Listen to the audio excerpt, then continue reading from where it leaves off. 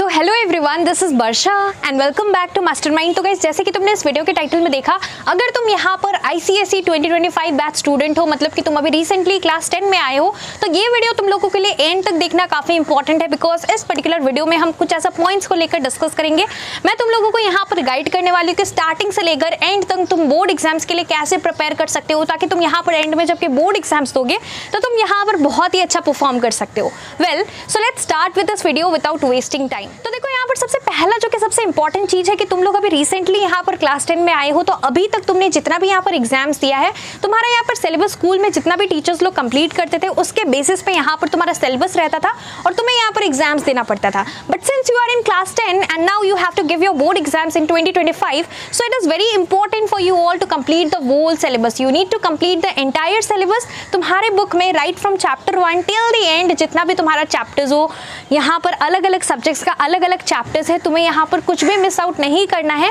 और तुम्हें यहाँ पर सिलेबस पूरे सिलेबस पे क्वेश्चंस यहाँ पर क्वेश्चन पेपर प्रिपेयर होने वाला है। तो इसका मतलब ये है कि तुम्हें यहाँ पर पूरा syllabus right from chapter one till the last chapter you need to study everything so it is very important for you to start it right now only because end में अगर तुम सोचोगे कि सारा का सारा चैप्टर्स एंड में तुम तुम लोग कर लोगे कम टाइम के अंदर तो हो सकता है कि बाद में तुम लोगों का काफ़ी ज़्यादा यहाँ पर टाइम का शॉर्टेज की वजह से तुम लोग उतना अच्छा परफॉर्म नहीं कर पाओ। तो अभी टाइम है स्टार्टिंग से अगर तुम लोग मेहनत करते हो, अगर हार्डवर्क करते हो सो so डेफिनेटली तुम लोग यहाँ पर बाद में रिग्रेट नहीं करोगे कि तुमने यहाँ पर जो प्रीशियस टाइम था स्टार्टिंग का वो तुमने वेस्ट कर दिया. Because point number two which is very important here let me tell you that यहाँ पर तुम्हें अभी काफ़ी सारा प्रोजेक्ट सब मिलेगा. जो तुम्हारा बोर्ड्स का क्वेश्चन पेपर रहता है, वो यहाँ पर 80 मार्क्स का होता है. Even your pre board exams इसका पेपर 80 मार्क्स का सेट होता है. यहाँ पर तुम्हारा 20 मार्क्स स्कूल के हाथ में रहता है और यहाँ पर किस तरीके से तुम्हें मिलता है, तुम्हें यहाँ पर प्रोजेक्ट्स दिया जाता है. और तुम्हें यहाँ पर प्रोजेक्ट्स बनाना पड़ता है और प्रोजेक्ट के बेसिस पे तुम्हें यहाँ पर मार्क्स मिलता है. और ये मार्क्स तुम्हें स्कूल के टीचर्स जो सब्जेक्ट टीचर्स है, वो देते हैं.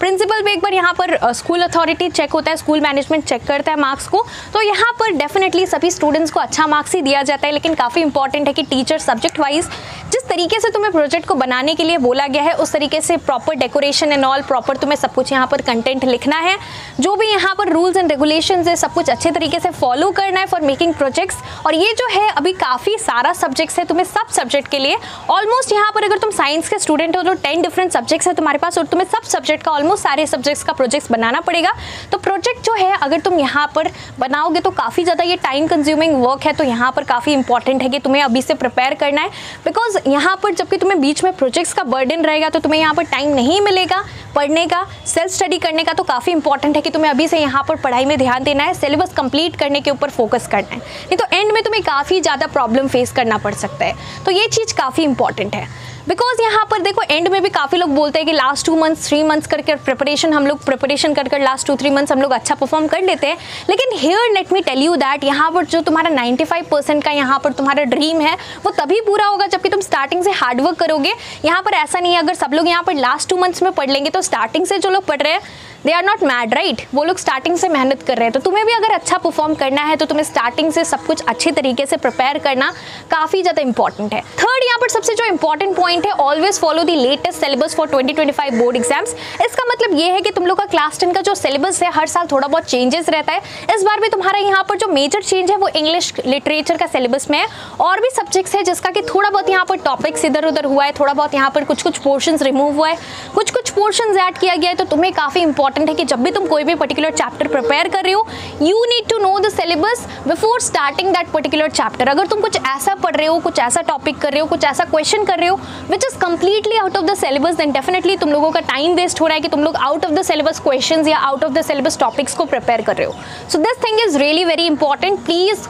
check out the syllabus once before you start a particular chapter and lastly यहाँ पर तुम्हें क्या करना है, जो फिफ्थ सबसे इंपॉर्टेंट पॉइंट है, तुम्हें यहाँ पर जो प्री बोर्ड्स है, इसमें भी अच्छा करना है बिकॉज़ यहाँ पर जो प्री बोर्ड्स देखो जनरली कब होता है? काफ़ी सारे स्कूल्स में दिसंबर के एंड में होता है, काफ़ी सारे स्कूल्स में प्री बोर्ड्स जनवरी में स्टार्ट होता है जनवरी के मंथ में। तो ये तुम्हारा ट्वेंटी में प्री बोर्ड्स होता है, इससे पहले तुम्हारा यहाँ पर बीच में हाफ़ ईयरली होगा।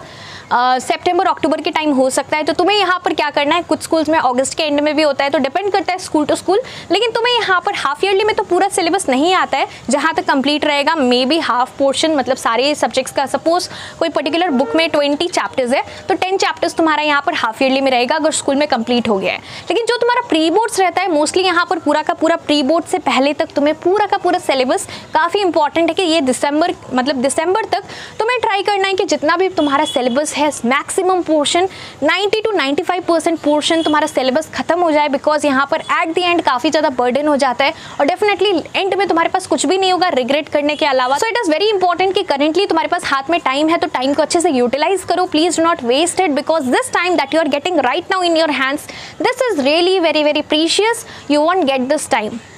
at the end तो काफ़ी इंपॉर्टेंट है कि अभी से यहाँ पर टाइम को मैनेज करो सेल्फ स्टडी करो ट्राई करो कि जल्द से जल्द तुम्हारा सिलेबस खत्म हो। और यहाँ पर देखो, जो भी तुम्हारा प्रीवियस ईयर बोर्ड क्वेश्चन होता है, वो मुझे मतलब मैं यहाँ पर स्टार्टिंग में तुम्हें बता दे रही हूँ कि जो प्रीवियस ईयर बोर्ड क्वेश्चन रहता है इवन तुम जब अपना एक्सरसाइज का क्वेश्चन सॉल्व कर रहे हो, अगर यहाँ पर जो एक्सरसाइज क्वेश्चन है, जबकि तुम सॉल्व कर रहे हो, कहीं पर लिखा हुआ है सपोज़ टू सपोज़ कहीं पर लिखा हुआ है 2022 तो वो सारा तुम्हारा बोर्ड लेवल का क्वेश्चन है। इसका मतलब कि ये सारा क्वेश्चन 2020 सपोज़ 2023 लिखा है तो 2023 बोर्ड एग्ज़ाम्स में आया है। तो इस तरीके से जो बोर्ड्स का क्वेश्चन है अगर तुम यहाँ पर मतलब उसको इग्नोर मत करना बोर्ड का क्वेश्चन है तो इंपॉर्टेंट है बिकॉज़ यहाँ पर काफ़ी सारा ICSE में क्वेश्चन होता है रिपीट होता है, जो कि लास्ट मतलब लास्ट पास्ट टेन ईयर्स का क्वेश्चन है। काफ़ी सारा हमें देखने को मिलता है कि प्रीवियस ईयर क्वेश्चन थोड़ा बहुत घुमाकर, थोड़ा सा क्वेश्चन को चेंज कर कर ट्विस्ट कर कर रिपीट होता है। So it is important that you focus mainly on the question that has been asked